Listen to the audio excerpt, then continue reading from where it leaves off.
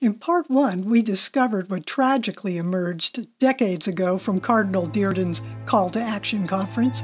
With the aim of reversing what was set in motion back then, this Call to Action convention is being held at the very same place to set straight the path, as John the Baptist put it, this one nation under God that was divinely raised up to be a beacon of light to the world. We have let our church and our nation fall away from Catholic truth, and it is now beyond urgent that we return wholeheartedly to the Lord and leave the fatal notions of relativistic modernism born of communist, Marxist, progressive, leftist ideologies behind. Welcome to candlelightpress.org, where the light of truth dispels darkness. I'm Mary McMenamin. In this hall, we socialized, dined, and whined about the evils this nation has embraced, made manifest in our leaders and legislation, our schools and communities, even within Christ's holy Catholic Church. In the room before me, armed with an impressive arsenal of knowledge and experience, inspiring panelists provided insider insights and expertise as they laid out the plan of action for Christ's faithful warriors in their call to action. We learned that the aim of Church Militant's first ever Action Calling Convention is to confront head on the malignant errors that have undermined not only our country, but human freedom at large on account of shameful inaction. And here we are at the imminent front, the prophesied battle of good against evil and the lukewarm indifference the Lord says he will spew out of his mouth, Revelation 3:16.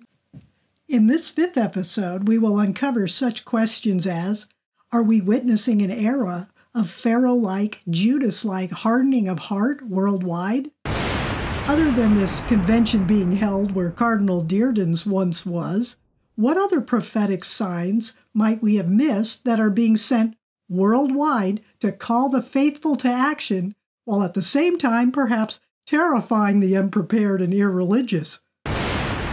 Finally, what are the faithful not doing enough? And what can they easily do right now to seek reparation and increase holiness? These questions and more will be answered, giving even our clerics and theologians alike some useful takeaways. So let's open with this era's heralding voice, not John the Baptist, who leapt in Elizabeth's womb upon encountering the just conceived Lord of heaven and earth, but the ark of Christ's new covenant in the flesh, the new woman most perfectly made among women from whom he draws his very blood and DNA, his undefiled Mother Mary, who now comes to us to make straight the path for her Son, God's Son's return. Scripture repeatedly foretells of our time as our Blessed Mother, to whom her Son entrusted from the cross all beloved disciples, continues to call her children, the brothers and sisters of Christ, to contend for conversion and fight the good fight in the name of her Son, God's Son. She comes to us as did John the Baptist to herald Christ's coming because countless numbers are running toward infernal destruction as though waltzing off to a party. The poorly formed spiritually have strayed because they do not understand that there is only one truth, one path, and one gate through the organized, yes, organized religion that Christ instituted. Quote, For whoever does not enter the sheepfold through the gate but climbs in some other way is a thief and a marauder, John 10:1. Tragically, within and without the church, so many, bishops included, have strayed from millenniums held Catholic teaching or left entirely Christ's organized religion to embrace a disorganized one in the name of modernization. The false church that has emerged from within, rife with sin tolerant, errant, man made ideologies that merely prepares the lost sheep for Antichrist's final deception. Paul warned, quote, Let no one deceive you. The apostasy comes first, and the lawless one is revealed, the one doomed to perdition, who opposes and exalts himself above every so called God and object of worship, so as to seat himself in the temple of God, claiming that he is a God. For the mystery of lawlessness is already at work, and in every wicked deceit for those who are perishing, because they have not accepted the love of truth, so that they may be saved. Therefore, God is sending them a deceiving power, so that they may believe the lie, that all who have not believed the truth, but have approved wrongdoing, may be what? Condemned. 2 Thessalonians 2 3 through 4, 7, and 9 to 12. So much for presuming upon grace with the hope of repenting at the last minute, the ultimate playing with fire. God is not mocked, and he sees through such rationalizations. The Lord knows which sheep and shepherds belong to him, unlike the hireling who sees a threat and, quote, leaves the sheep and runs away, and the wolf catches and scatters them, John 10 12 a catching and scattering that has been occurring for centuries now. Yes, beloved ones, we are witnessing this prophesied hardening of hearts as was seen back in Pharaoh's day and the Pharisees' day, but at an unprecedented level. The solution, therefore, must be activated within truth loving hearts that serve the Lord through the one holy Catholic and Apostolic Church he instituted now being tested by Satan, as was Jesus in the desert, to the precipice of peril. The time is now, the stakes decisive. Silence today is tomorrow's crisis. Whoever is wise will take note of these things, Psalm 107 closes as it opens a prayer for victory, Psalm 108, followed by the prayer of a person falsely accused. How familiar are the tactics described in Psalm 109 of the wicked against the innocent who cry out to God day and night. How tragically many have let themselves be fooled into thinking that God, if they acknowledge his omniscience at all, either approves or does not see what damage they inflict upon others. Woe to the CINOs, Catholics in name only, and RINOs, Republicans in name only, and all hypocrites who muddy the water of truth with their dirty hoofs, while the wise continue to take note of these things, ponder God's mercy, and contend for the salvation of souls despite the left's silencing, intimidation, cancellation, persecution, and slander from the sin devoted and intentionally uninformed, the cowards, the bought and paid for hirelings, and most seditiously of all, the lukewarm Catholics. Know too that from consecrated souls and those blessed with understanding, lay and religious alike, more is expected. We are witnessing the final fall for Christ's sully bride, who, as prophesied, must take up her cross and follow her Lord on this Via Dolorosa through temptation, betrayal, denial, scourging, and torture on way to her ultimate victory the divine justice of mercy hopefully topples those in authority that they may see their error and repent. If they refuse to learn from either love or chastisement, they will ultimately be given over to their mortal desires at the cost of their very souls. Just as our Lord's merciful act of exposing his betrayer Judas Iscariot, who neither repented nor was deterred, quote, none of them is lost among the twelve, but the son of perdition, Judas. Let us nevertheless challenge this Pharaoh like, Judas like hardening of heart hypothesis and see what our courageous reporters of all things Catholic have to say about it. Is this the prophesied climatic hardening that even worldwide exposure through modern media cannot deter? A sort of warning prejudgment, if you will? Upon the weeds and wolves among us? I put forth the question first to Church Militant's producer reporter Hunter Bradford. Quote, Have you personally seen any evidence of the public uncovering of sin, reparative for a healthy soul, inspire repentance, apology, even reparation in offenders you have reported on? In other words, could it be that their hearts are so hardened that exposure or humiliation merely entrenches them more deeply in untruth? Now, more than ever, wouldn't you say it's a problem? Okay. When they get a taste of their medicine and they get exposed, you ever seen an example where they repented? Me in my life, no. Yeah. Uh, people probably more steadfastly commit to yeah. the mortal sin, the the scandal that they were already committing. Yeah. Um, unfortunately, the people of goodwill. Um, they will respond, of course, well to getting called out, even mm-hmm. like charitably called out. Mm-hmm. But someone, someone who's not of goodwill, they've already hardened their heart so much, or to mm-hmm. the to such a degree that a you know a very fiery message to them is not going to mm-hmm. do anything. So today, when you hear His voice, harden not your hearts as in the rebellion, warns the Lord, on the day of testing in the wilderness, where your fathers put me to the test. I was provoked with that generation and said, They always go astray in their hearts. They have not known my ways. As I swore in my wrath, they shall never enter my rest. So take care, brethren, lest there be in any of you an evil, unbelieving heart, leading you to fall away, be hardened by the deceitfulness of sin. For we share in Christ, if only that is, only if we hold our first confidence firm to the end.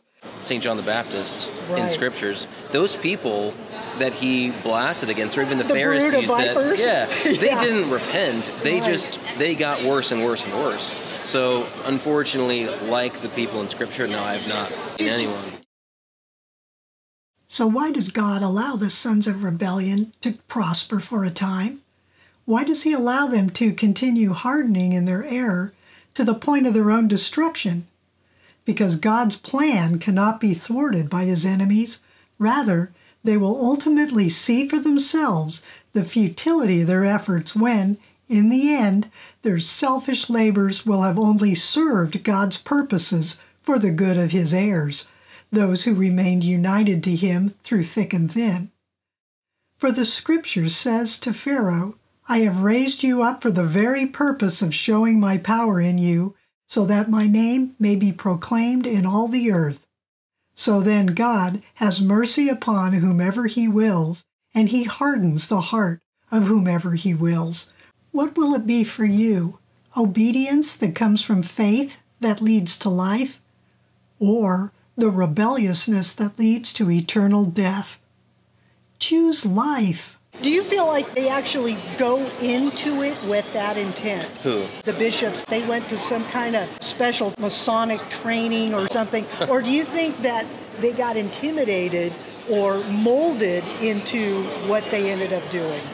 What is just like your personal thought? Where did that originate in them? Well, I think there are different groups of bishops. Mm-hmm. So there's one group like the Cupiches that. Mm-hmm uh, are like very likely communists mm-hmm. and entered seminary um, with an agenda. Yes, like an yes, infiltration right. kind of thing. Yeah. Um, but there's the other other group that they may not be communists, but they don't believe church teaching mm-hmm. and think that church teaching should change. So when it comes to the the Cupich group, mm-hmm. I think they intentionally entered seminary uh, with the intention of changing uh, not just the church teaching like the other group, mm-hmm. but the very structure with bringing the church down. That was the goal. Yeah. But the, you know, kind of in fulfillment of the Fatima warning, you know, the errors of Russia yes. spreading over, kind of this crew yes. of info, these minions that come in mm-hmm. and just, yeah. hey, if you get the church, you get the whole world. Yeah. Yeah. No, for sure. Um, I think have you read the book uh, by Julia Meloni, St. Gallen Mafia? Those five mafia members, um, I don't know if they entered seminary, mm-hmm. um, you know, with the worldview of, of that they have now, but somewhere along the lines, they definitely, obviously, adopted it and have been on a tear, uh, attempting to, to change the church church teaching on uh, giving the Eucharist to divorced and remarried Catholics yeah. and women priests and all that kind of stuff. I don't know where that happens along the line, to mm-hmm. be honest. Mm-hmm. Um, but knowing the kind of people that were in seminaries and running seminaries in the 50s, 60s. Um, someone like Cardinal John Dearden, who ran Detroit decades ago, um, I think they're probably they go in vulnerable, they go in moldable men, and if you put those moldable, vulnerable young men around older, firmly evil men, men who are are grounded With in- authority with, over them. Yes, Yeah. with um, really a communist worldview. It's very easy to become uh, what you surround yourself with. I mean, think of most teenagers who go off to college, mm-hmm. or like with their family when they were in high school and growing up, they went to Sunday Mass, maybe they pray the rosary. They very easily abandon it. Mm-hmm. Now, switch, use that same model to a young 18 year old kid, mm-hmm. young boy who knows he should be looking up to these old men, and really does, because that's the whole point. And, uh, you know, he's telling them that the way they think about the church and everything is wrong. It's very easy for them to uh, take on the worldview of his superiors. So I think that Yeah. would that would serve to explain some of the examples. But there's so many different groups of, of bishops um, that I, it's hard to use one story or one answer to explain all of them. Now, on a personal level, have you ever thought of yourselves in terms of the opposite? You are the positive. You're the Oh. young guys coming in, kind of under, I guess you'd call the tutelage of Michael. yeah, yeah, sure. Seriously, he's Yeah. talking about the legacy of Yes. church militant, and there you guys are, Yeah. and you're being formed in the true church teaching, and you're out there to counter that. No, I yeah. mean, that's like history in the making. You, this is an amazing time we're living in. That, that must. Does that ever like wake you up at night and go, "Whoa, I'm a part of this. This is like the Book of Revelation. Honestly, Here I am." I would say the when I have those sort of moments, it's it's when I'm talking to I call them normal people. When I'm outside people. of Church Militant, when Yeah. I'm uh, when we're at an event and I'm talking to people who listen to us, I have that experience of like, wow, I have the ability to form people's minds, and that's what I do on the evening news every single night. Uh-huh. And they'll tell me like, yeah, you know what, we, you're in our our living room like every single night. And Yeah. I'm like, that is such a uh, you don't see it. You're just looking at a camera. Yeah. And here people are all Yeah. over. Like we feel like we all know Yeah. you personally, and you're like, "Who are you?" It but really is a Yeah. huge blessing. It's also responsibility. Um, but I, I feel that weight of um, of justice to, to tell the truth, Mm-hmm. to uh, form souls and intellects um, every single night, and I do feel the sense of uh, I guess like a foot soldier in a big battle. Um, yeah, I, I know I have a role in this this war of good and evil, and um, my role is at Church Militant, and I like playing the role. I'm enjoying it. Um, and you do it so well. hopefully, Yeah. my my sword is is red with uh, the blood of the enemy, and it Yep. keeps getting more red. No doubt it is. Yeah. Well, thank you so Yeah, no, much thank for you. that. God bless you. And this has been such a great. I put the same question to producer and resistance overseer and MC Joe Gallagher regarding any indication of conversion within church ranks upon being exposed, called out, reprimanded, refuted, or corrected for making a pretense of Christ's religion by conspiring with evil and gain, power, or pleasure over God. Average Catholic, Okay. a lot of times scatters when the lights turn on and they're, they mm. say they're going to get exposed or whatever. And but when we see the bishops get exposed, instead of scatter, they tend to be more ingrained in what they're doing, almost hardened, mm-hmm. and pursue it further, and it doesn't seem to scare them off. And I was wondering if you have ever seen examples of repentance and conversion on account of exposure amongst the, the clergy. Have you ever witnessed such a thing, or do people just keep becoming more hardened? With reference to the episcopacy? Yes. Oh man, I mean, outside of you have Cardinal Vigano, but uh, I'm sorry, Arch, Archbishop Vigano, but that wasn't really out of exposure. Correct. It was Yeah. more out of his whatever it was, God's grace. Yeah. But the idea of exposure, ideally is of course to get those types of people to Of not course. yeah to to repent mm-hmm. but what is the actual more attainable result Yeah. for them to walk away and to leave their position of power and somebody else in the future to come in that is a little bit better Do you think because they're such targets of Satan, because they are able to consecrate what angels can't even do, that maybe they're hit so hard by him that kind of once you fall into that, it's like almost impossible to get out? It's like uh, much harder than it would be, say, for an average person having a reversion. Well, I think, yeah, obviously you're going to fall harder. Um, when you are a leader in the church, your hands are consecrated, and that's different. There's a transformation that happens after ordination. And so the soul is truly different. You are a priest forever. You're not married forever, but you are a priest Forever. And, And it- that is a big deal. So, Yeah. Um, yeah. So you would think that if they know about hell, that the fear of hell, knowing how bad it would be for consecrated souls, they must, in your view, do they just not believe in hell? Or are they purposely doing this as if they want to go there? They've been deceived into thinking they want to go there? If you ask any any person that has had a, leave from the faith, mm-hmm. and you ask them when they were doing the bad things that they whatever they were doing, whether you know they go into the hookup culture, or they live a gay lifestyle, or they just don't practice faith anymore, they fall into drugs, whatever it may be, the moment you leave a state of grace and you ask a person, why why did you do that? Mm-hmm. The, what's one of the biggest answers that you're going to get? Well, I just stopped thinking about it. God stops slowly, and this is St. Paul writes about this. Over time, he's going to stop offering opportunities to cooperate with grace because it's an act of mercy, knowing that as you fall deeper and deeper and deeper into sin, and also just on a physical, behavioral level, like just regular human virtues, if as you continue to crumble and crumble and crumble, you're going to eventually find a moment where our Lord is going out of mercy to stop offering opportunities for grace because he mm-hmm. knows you're going to reject it more, therefore intensifying your damnation. Oh, yeah.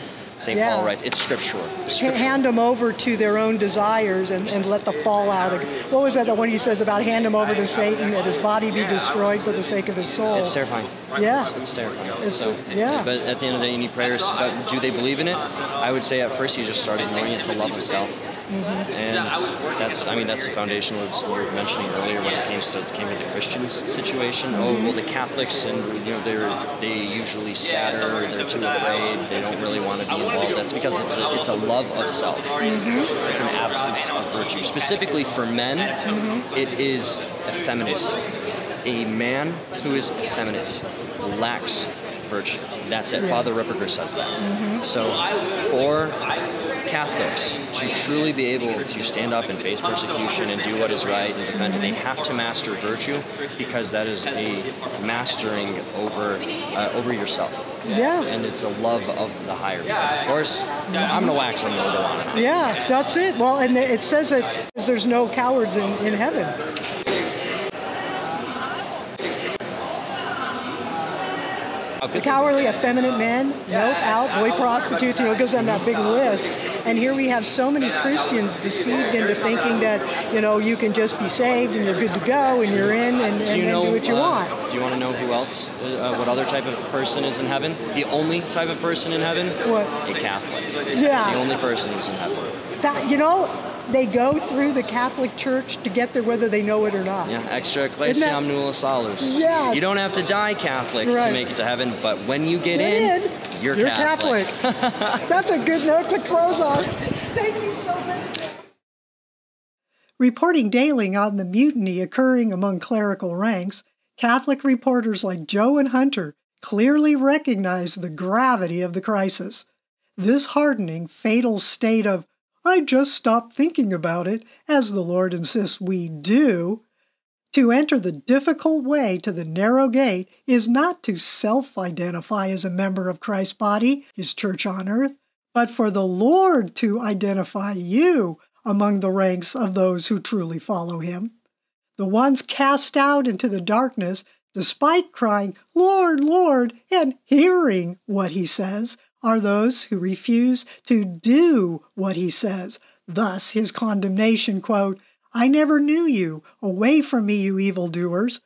Woe to those who indulge in the fruit of faith without works and works without faith, to be ultimately spewed out of Christ's mouth with the lukewarm Christians of Revelation 3:16 and those who persist in refusing to do what the Lord commands. Their twisted version of it. Hell's infiltrators hide like snakes among church and state ranks, waiting for the opportune time to strike, or, in St. Paul's words, quote, there will be terrifying times in the last days.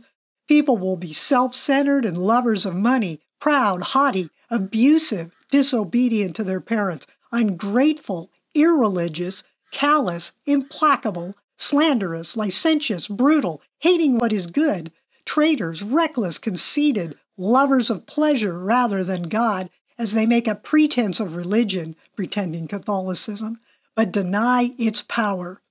Reject them, for some of these slip into homes and make captives of those weighed down by sins, led by various desires, always trying to learn but never able to reach a knowledge of truth. Just as Jannes and Jambres opposed Moses, so they also oppose the truth. People of depraved mind, unqualified in the faith, but they will not make further progress, for their foolishness will be plain to all. Yes, in fact, all who want to live religiously in Christ Jesus will be persecuted. But wicked people and charlatans will go from bad to worse, deceivers and deceived. But you remain faithful to what you have learned and believed, because you know from whom you learned it. Uh, the one apostolic church. All scripture is inspired by God, yes, even the books Protestants removed, and is useful for teaching, for refutation, for correction, and for training in righteousness, not rationalization, so that one who belongs to God may be competent, equipped for every good work. Yes, works do matter, be them what you do or what you don't do that you should. Paul then tells us what to do. Quote, Proclaim the word, be persistent, whether it is convenient or inconvenient. Convince, reprimand, encourage through all patience and teaching. For the time will come when people will not get this, tolerate sound doctrine. Hmm, sound familiar? But following their own desires and insatiable curiosity will accumulate teachers and stop listening to the truth and will be diverted to myths. 2 Timothy 4 1 through 4. Uh, such myths as one's biological sex or a tiny human's life being merely a choice, a decision, just as they'll convince you that the church is behind the times, that Christ our Lord approves of communion for divorced and remarried, that the abolition of priestly celibacy on way to the ordination of women to the priesthood is a good thing in the service of unifying the church with Protestantism page 153 of the St. Gallen Mafia, instead of bringing Protestants to the fullness of truth in the universal faith Christ established for the sake of humanity's salvation. When the prophesied shofar, the trumpet is blasted from heaven, they'll convince you, oh, it's a, a hoax. hoax. These sounds are a copy of the alleged Bigfoot recordings made in the early 1970s. They're recordings of strange sounds that defy explanation and this one will leave your head ringing. Dylan Dickerson is taking out the trash from his home in Lewisburg, North Carolina, when a loud noise startles him. Never heard anything like it. So loud. What could that be? What is going on? Strange sounds are being heard around the world.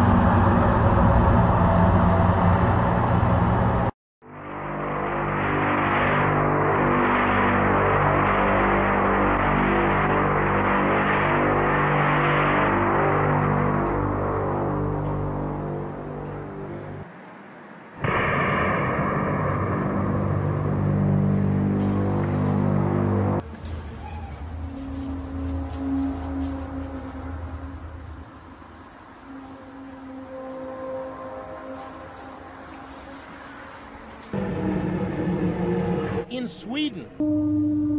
In Michigan, another trumpet like sound.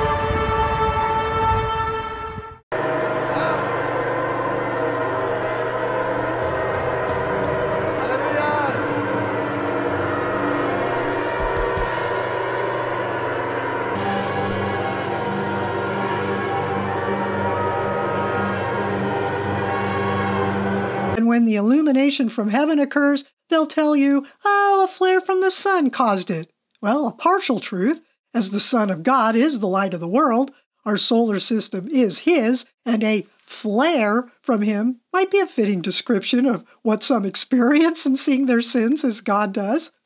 Therefore, quote, to be doing the works of God, John 6 28, that Paul says God will equip his own for, requires not mere belief about him, but belief in him, in the truth that he is, which is an inness that inspires proper action. The in is crucial because one can serve only one master in this all or nothing way.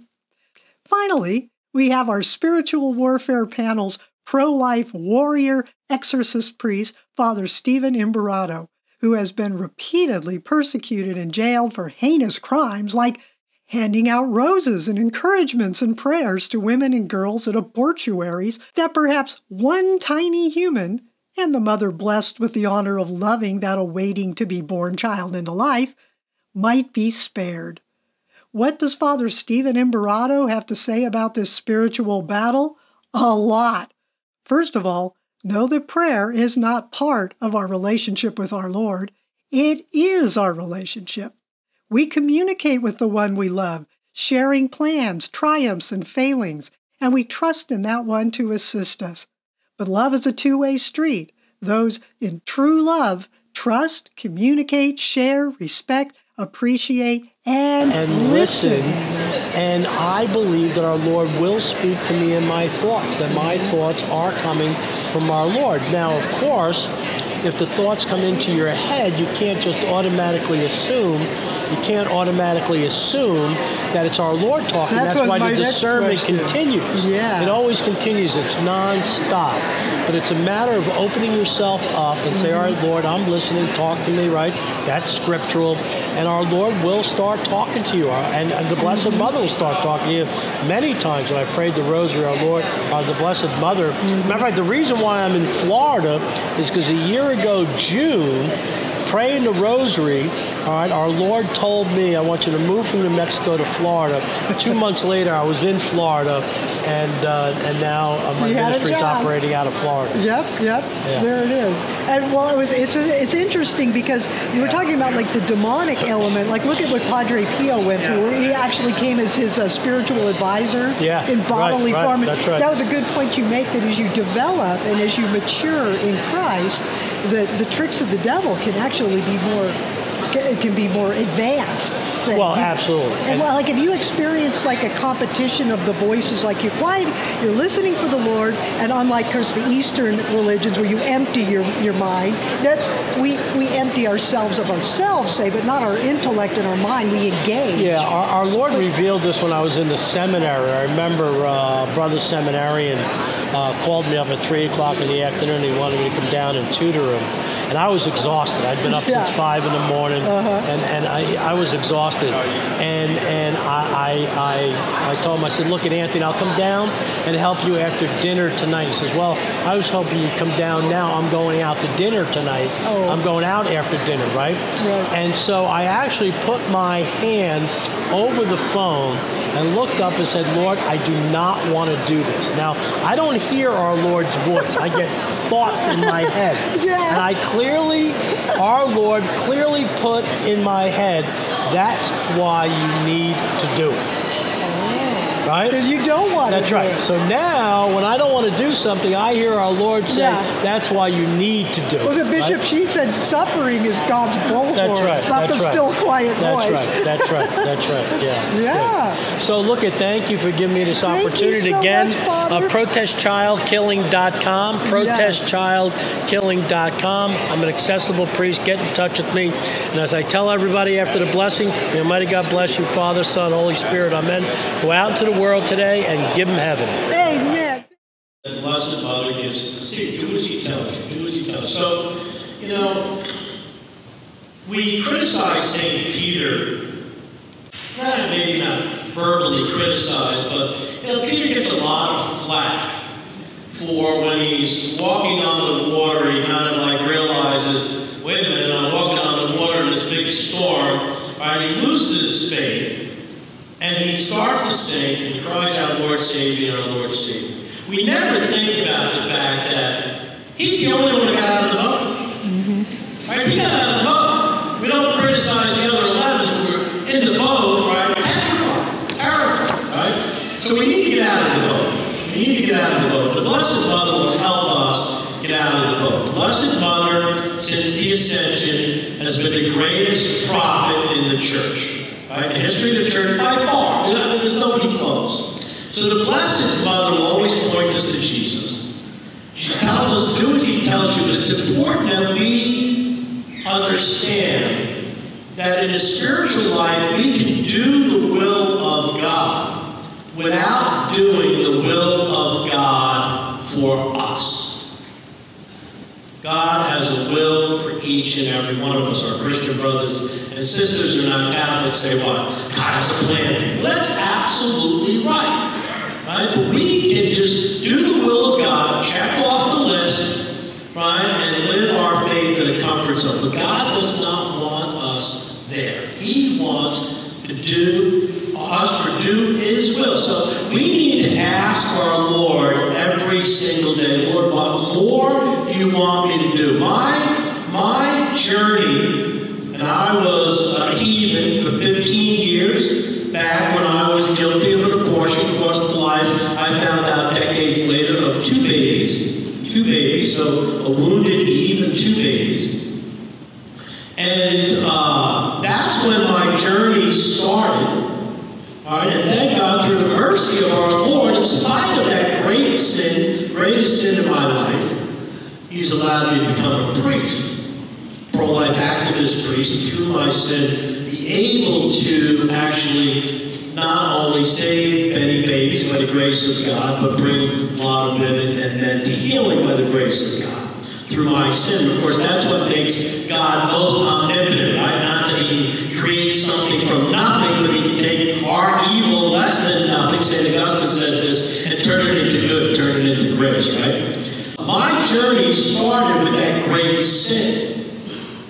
And I am, as many of you know, and I haven't been arrested in two years, but I'm part of the Red Rose Rescue Movement. And by the way, we have three Red Rose rescuers in jail as we speak in Valhalla, New York. A fellow priest, Father Fidelis, uh, and Will Goodman and Matt Connolly. Please keep them in your prayers uh, because, again, as my two brothers here have created much sac or have, are enduring much sacrifice, so they are willing to give up their freedom and sacrifice by saving babies, right? Uh, and I, I think they're a model for us in terms of what more can we do. So I went from that place where I committed this great sin to be willing to go into abortion facilities, risking my freedom. I've spent time in jail. I've been arrested five times. Uh, probably be arrested at some point in the future uh, again. Uh, maybe even in Ireland. I'm looking to go over to Ireland and upset the apple cart over there with that buffer zone they want to create. Uh, so please pray about that because I'm trying to discern all that stuff. But it was by asking our Lord, starting in the, in the late 90s, before I went to the seminary, asking our Lord, Lord, what more can I do today to unite myself to you on the cross? What more can I do to lay down my life as you laid down your life for me? And you ask that every single day, and then you listen, you ponder, you ponder, you listen. I think one of the things that we don't do in this day and age is ponder, listen. Right? We pray, we pray, we pray, we pray, we do all the talk, we don't do any listening. Right? But listen. And you may not see anything dramatic happen day in and day out, day in and day out. But I guarantee you, you ask that simple thing of our Lord every day, you'll look back after three months, six months, one year, and you say, Whoa, man, I am not the person now Exactly right. That's a call to action right there. All right, so uh, call that, keep close to the Blessed Mother. She'll point you to Jesus. Spend time in the Adoration Chapel. And when you're in the Adoration Chapel, listen. Listen. All right, maybe spend 10, 15 minutes, pray the rosary, uh, uh, talking to our Lord, but then shut up and listen and ask our Lord, Lord, what more do you want to do? And then also, we haven't talked about this, all right? The goal of every Catholic should be at some point in their lives, for the rest of their lives, their daily communicants, daily mass goers. Right? I think that is key. All right? Mass is the source and summit of our lives. If it is, then every decision we make in our lives should be centered around does it help me or hinder me in terms of being a daily communicant, daily Mass goer right? So um, these are the spiritual exercises that I think are, are so, so important. And again, Jesus said, those who hear the word of God and act on it are wise. Those who hear the word of God and don't act on it are fools. We need to listen to the word of God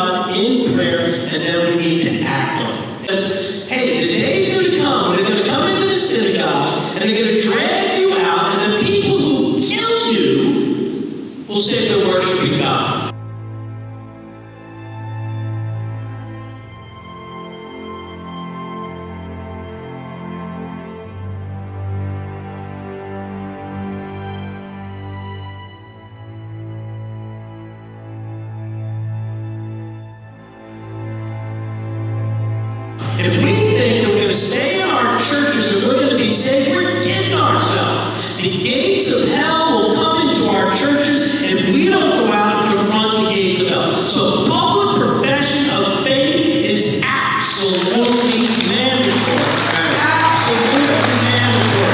The convention was spectacular.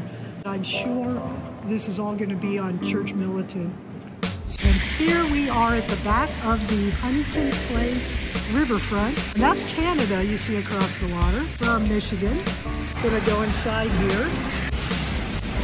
There's the Grand Ballroom and the convention. There's over 300 people. There goes Joe and a guy named Ian.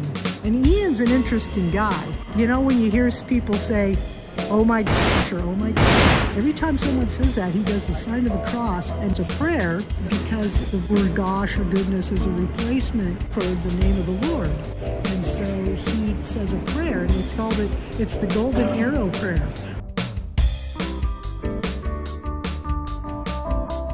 Hi, Ian. I'm talking about you and your Oh. prayers Oh. and how you you taught us all a bunch of stuff. Oh. And I'm, I'm videotaping you. So time. say say hi to everybody. Well, hello, everybody. It's a pleasure for me to say hi to all of you. I don't know who you are. Yeah. God love you. Ian is a great guy. It's called it's the Golden Arrow Prayer. Is that the Yeah. one you say? Yes, that's the golden arrow. Yeah, because I was hearing oh my all over the place. Oh, yeah, yeah, no, exactly. Well, were you do, were you having to do that? I'm, I was, but you know what? Not as much today. Blessed be God. But yes, yes. in general, I've been hearing it all over the place. You know. Yeah. Uh, so you know, things happen. But See, Ian's keeping us in line, and he's teaching us that exceptional level of holiness we need to Blessed be undertake. I should not be the barometer of holiness. yeah. Talk to Michael Voris about being the barometer Yes. of holiness. That guy. WWID, what would Ian do? no. All right, okay.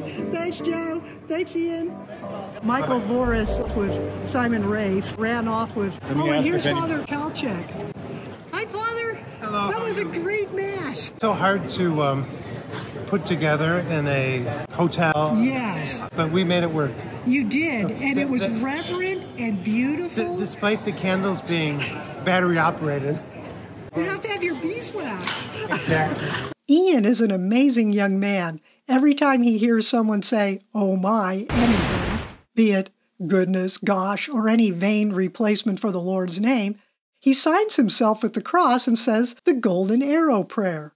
And he says it a lot.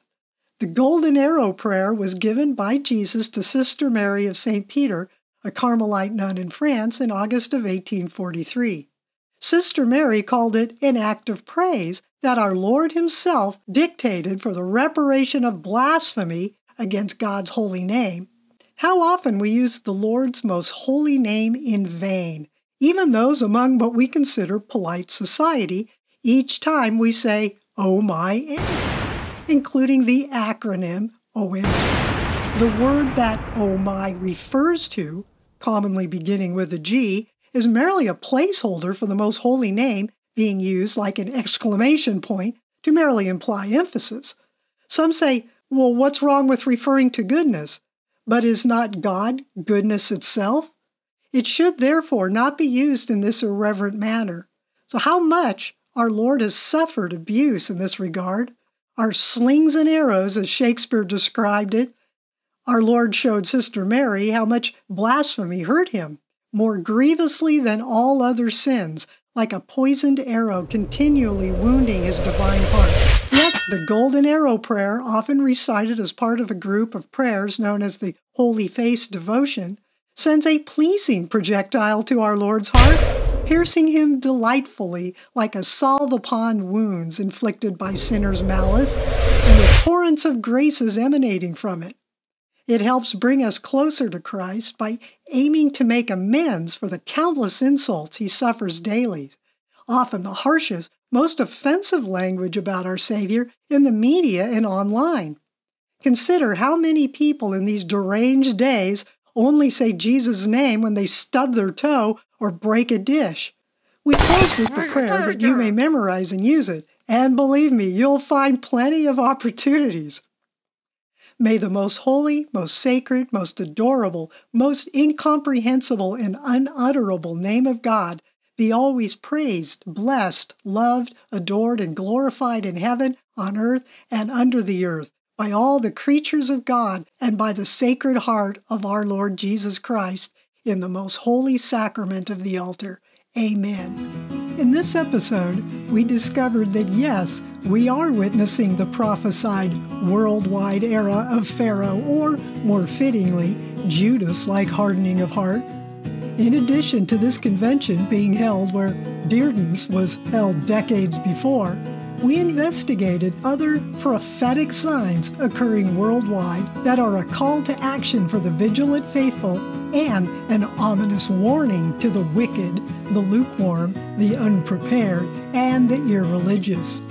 Third, we found that in addition to praying without ceasing, as St. Paul put it, the faithful today need ears that can hear, as Jesus put it, ears that are attentive to God and listen, as Father Stephen put it, because our relationship with the Lord is a two way street. Finally, we learned one simple work we can do right now to encounter what so offends our blessed Lord. Pierce his sacred heart with the golden arrow prayer every time we hear his name used in vain. Memorize it and wield it often like a weapon to call down blessings like a healing salve over wounds inflicted through blasphemy in the next episode, we will tour the Church Militant studio and hear an amazing story, so stay tuned. Thank you for watching, and may God bless you in every way. Okay, well, I'm going to sign off and uh, say goodbye, everybody. Bye. Bye.